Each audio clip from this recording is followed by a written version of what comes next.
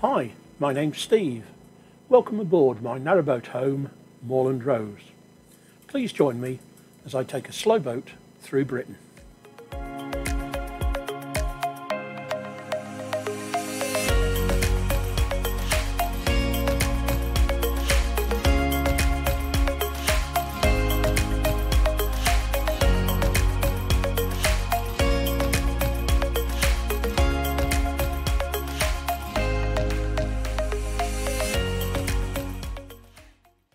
After a couple of days in Doncaster, it's time to move on. It is a handy mooring here close to the town and with access restricted by using the CRT key. I need to reverse out from the mooring to allow room for Moorland Rose to turn. I wouldn't want to hit that boat in front of me.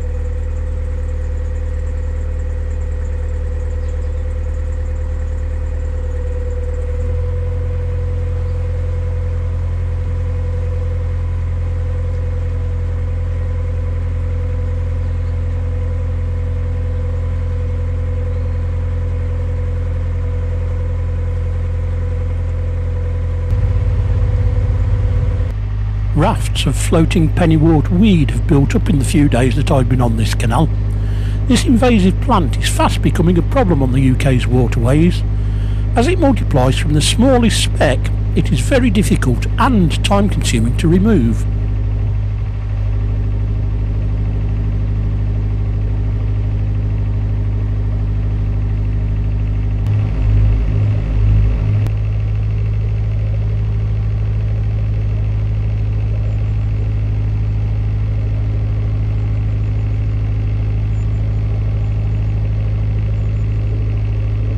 Don't want this mass of floating pennywort across the bows or around my prop.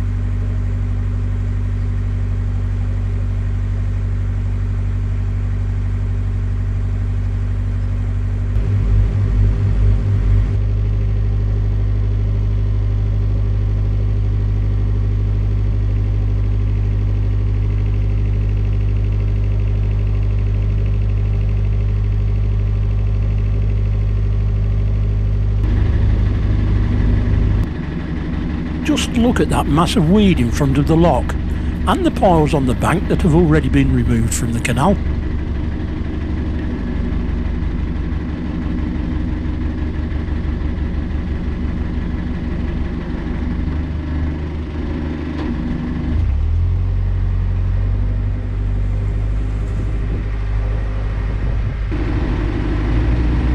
The two guys here were checking the lock's hydraulics, and although not Lockie's offered to work the lock for me.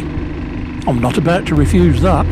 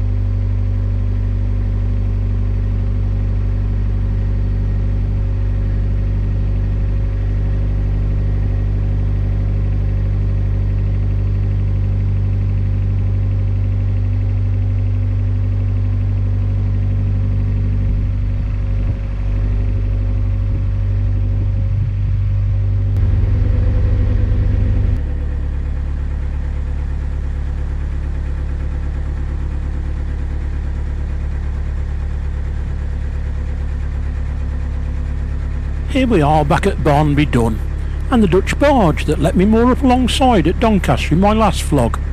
I enjoyed my stay here last time, so I'll stop again tonight.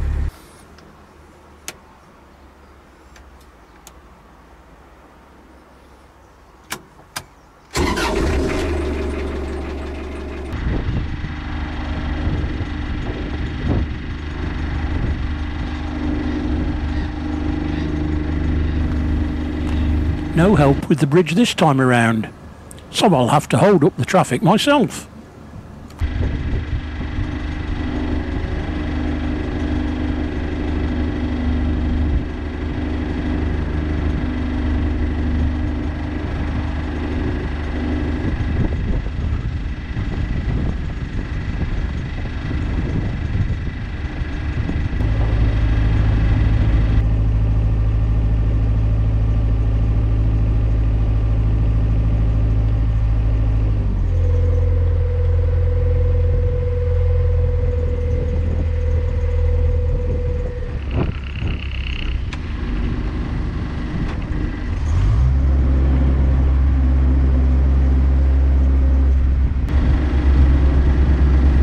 Bridge closed behind me, and with a large number of vehicles on their way again, I can carry on.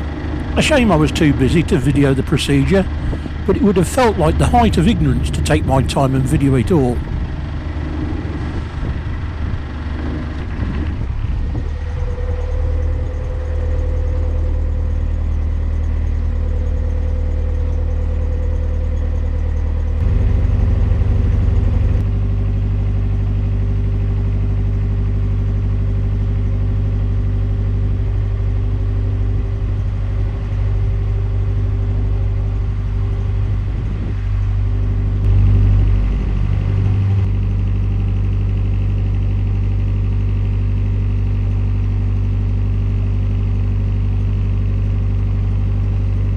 Are back at the junction with the Stainforth and Keadby Canal, but this time I carry straight on along the New Junction Canal. This is the last canal in the UK built for commercial traffic. Completed in 1905, it runs dead straight for its five and a half mile length.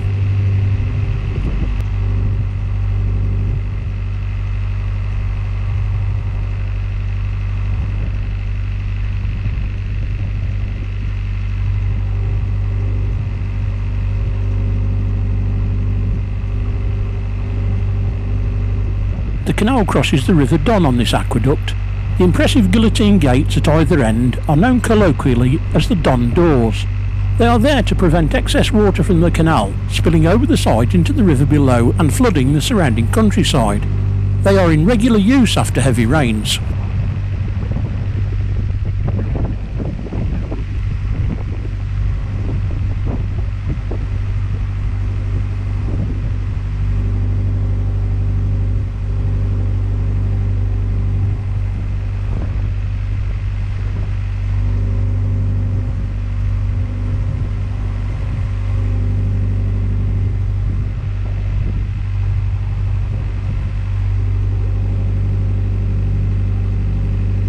You can see how arrow straight this canal is, and it is really open to the elements with the wind picking up.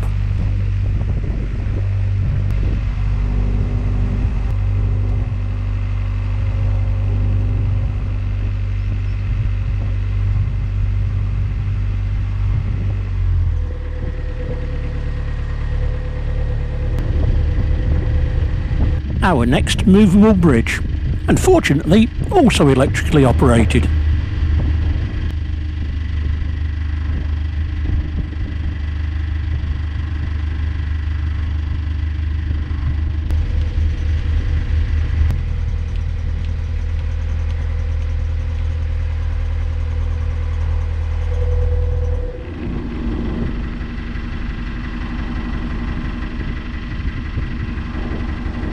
And I can see the next bridge in the distance. But let's get this one closed first.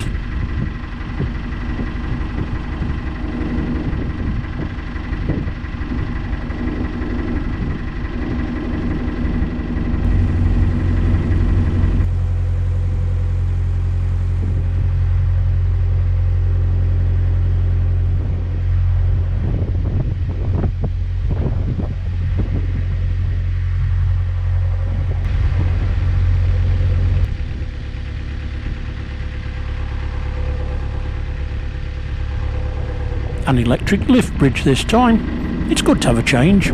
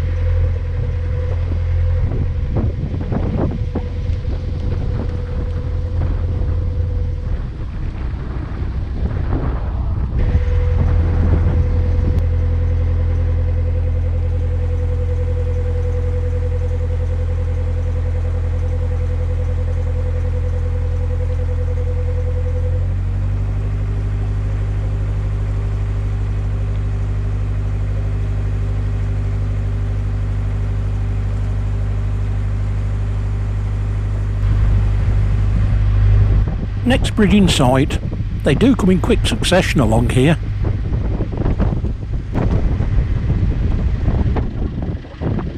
This bridge seems a little busier than the last two, and the wind is picking up as well.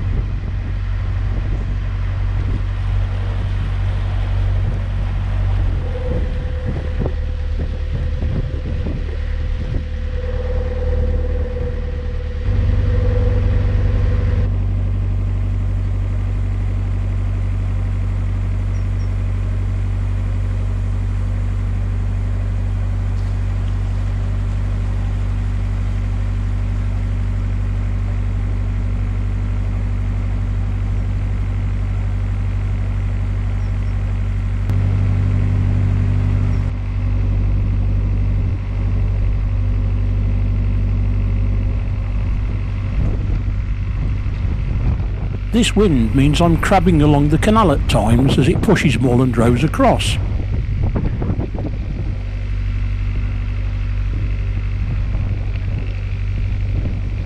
This is a converted Humber keel.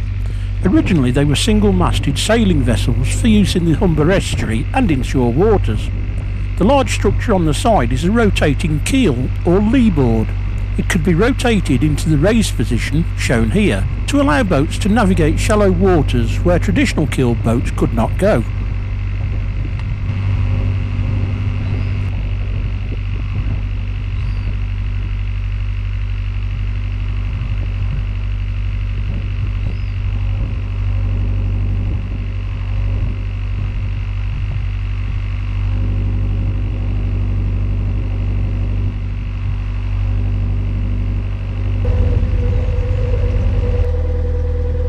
The light is green and the lock is ready for me.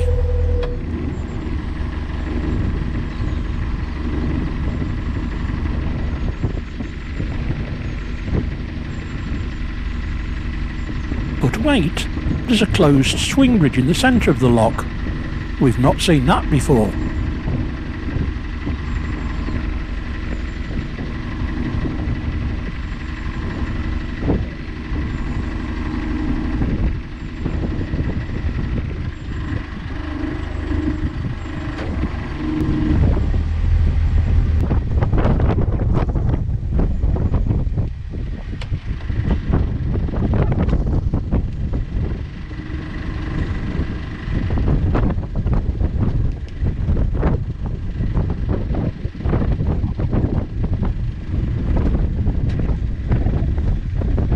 Lockie opens the swing bridge and calls me past.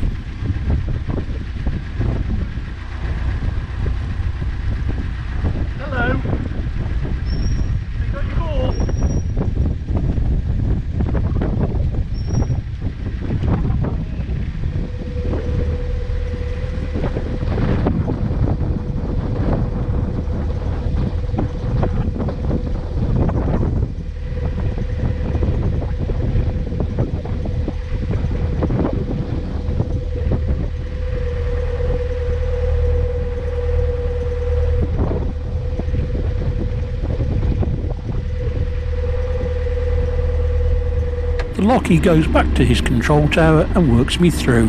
I would have thought that the swing bridge would have been electric as well, but apparently not.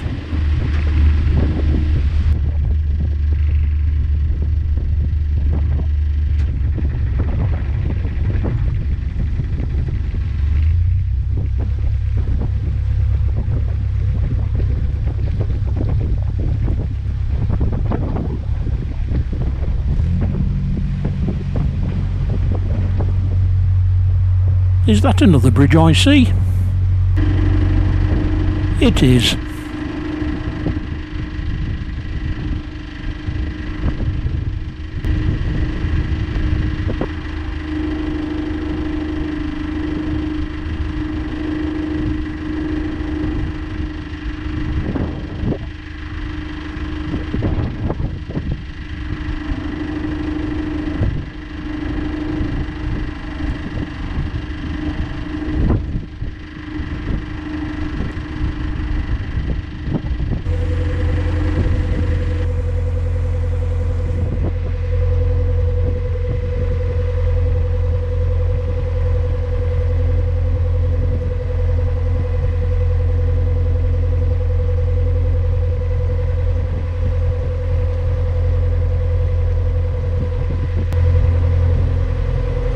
No prizes for guessing what that is in the distance.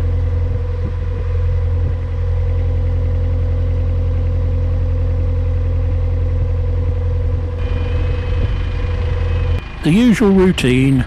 Barriers down to stop the cars driving into the canal and move the bridge. All I have to do is press buttons.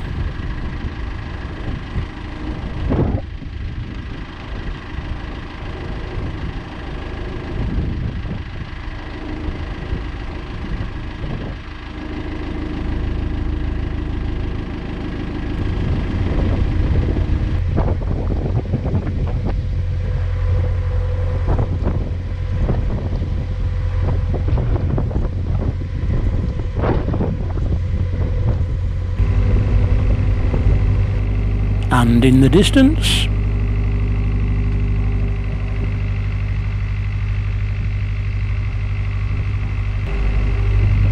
fooled you, it's a fixed bridge, the only one on this canal.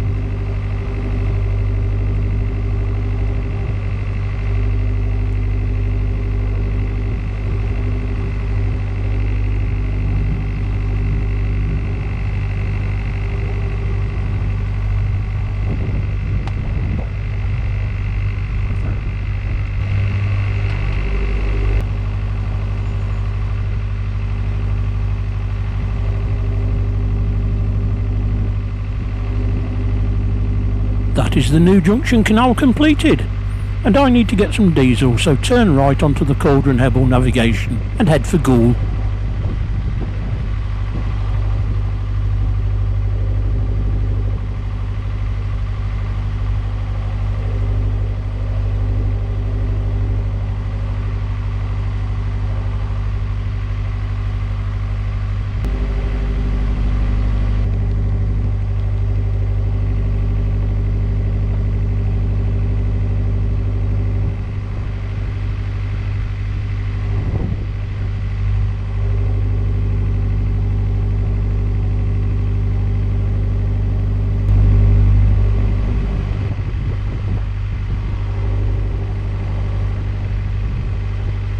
You may have noticed those boxes stuck on the end of tall poles. They're nest boxes for kestrels.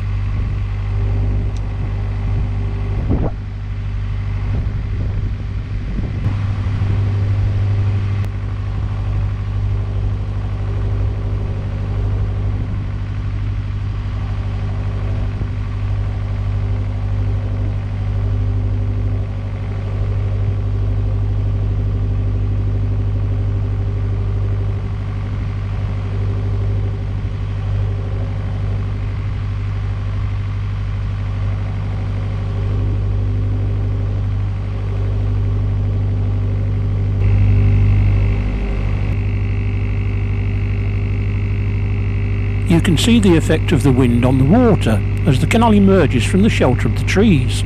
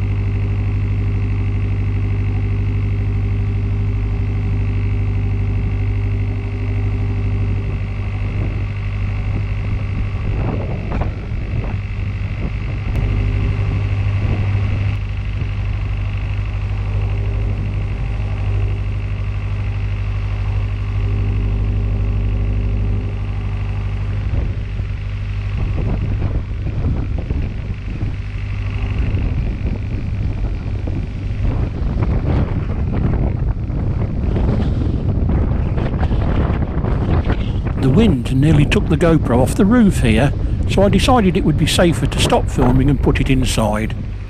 You won't miss anything. I shall be back this way in the next vlog, so join me then.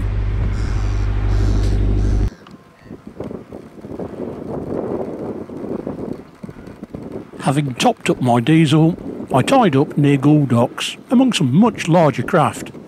Stay safe. See you next time.